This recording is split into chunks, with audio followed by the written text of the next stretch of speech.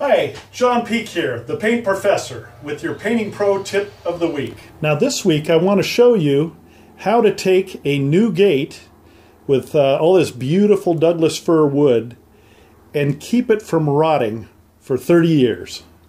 Now, the gate from the home that this uh, this is a replacement gate from a home we're working on, and they had a problem in that the house is only 15 years old and their gate was completely rotted out. So I had this gate made by a carpenter friend of mine, and I'm going to show you how to treat this gate in a way that it will last a very very long time. Now I've taken a uh, small little ketchup bottle that I purchased, and we use this to mix 50-50 the material there, the Smith's epoxy. And now bringing it over to the door, I'm going to start by squirting it in these cracks. You hear? I'll use the brush to uh, even things out a little bit. But this way, see, this is the top of the door where water is going to get in at some point in the future. so I'll probably end up using about two quarts of material on this door. But you can see how it, it's so watery that it just soaks right in immediately. I'm going to even it out a little bit and go over the whole, uh, all the door and all the cracked areas to get this sealed up. Of course, we're going to put a, a, a regular primer over this, but what this is doing is it, it's getting into the wood and making it so waterproof that uh, it'll never have a problem. Now, I purchased this at the marine store. Uh, people who own yachts know about this material, but uh, painters are not as uh, aware of this stuff. So sometimes you have to go to the, the boat store to get this.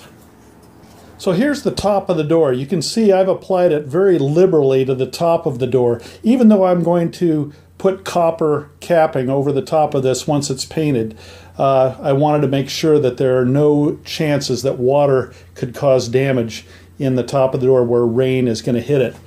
Likewise, I filled every one of the cracks all the way down the door and the top edges of these reinforcing uh, pieces. Now down here at the bottom, I was very liberal with it down here. The bottom of the door is where water can suck up uh, through the grain of the wood. So it's it's very very heavily applied down here, and I'm going to even apply more down here uh, because it looks like, as you can see here, it's already sucked up enough to where it's uh, light colored. So I'm going to put it on more heavy there.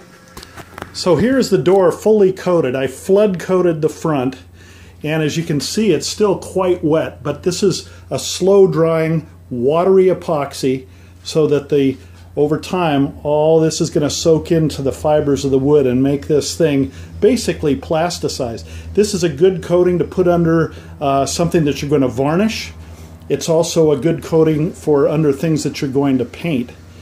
See how the end grain really sucked the material up. So water cannot uh, get sucked into this wood over the years and cause rot.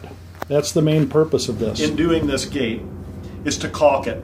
Normally you would wait until you've primed the door before putting your caulking on, but the epoxy acts as a pre-primer, so we're going to go ahead and do our caulking. The three tools you're going to need is a bucket of water, a rag, and then a good high quality elastomeric type caulking. Because the doors, wooden doors like that over time tend to move a little bit. So you want something that not only sticks well, but will move and flex over time. So once we get the caulking done, then we're going to put the primer on. Here's a cool little tool I found at the paint store. It clips onto the uh, one gallon can of paint. In this case, it's my primer. And I can use it with a two inch roller. And because this uh, gate is fairly small, I'm not going to need a big roller. So I've got my brush to knock down the roller stipple and uh, we'll get this door primed. So priming every surface on the door, even behind the hinges when they're cut and behind the handle when it gets cut so that everything's sealed up good and tight before painting. I hope you've enjoyed this pro tip of the week with your old buddy John Peek the Paint Professor.